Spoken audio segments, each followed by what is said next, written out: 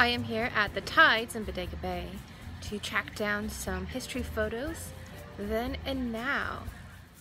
This was taken back in the 1920s when the Tides was known as Coast Camp and Bodega Bay was just the bay. Louis used to run a tiny little shop that eventually became the Tides as we know it now. That's what you're saying. Hi, this is Antonia. She's helping out, and we're currently trying to find where the picture was taken. Glamorous life of historians.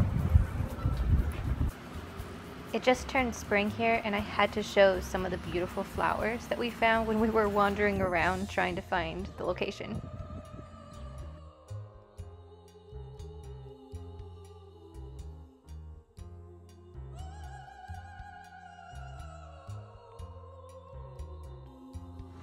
Think we found the general angle, although the docks aren't as long as they used to be. The Tides is probably most famous for Alfred Hitchcock's The Birds. And I have a photo of Hazel Mitchell from 1962. She was a waitress, and we're going to try and recreate it, although the location has definitely changed since then.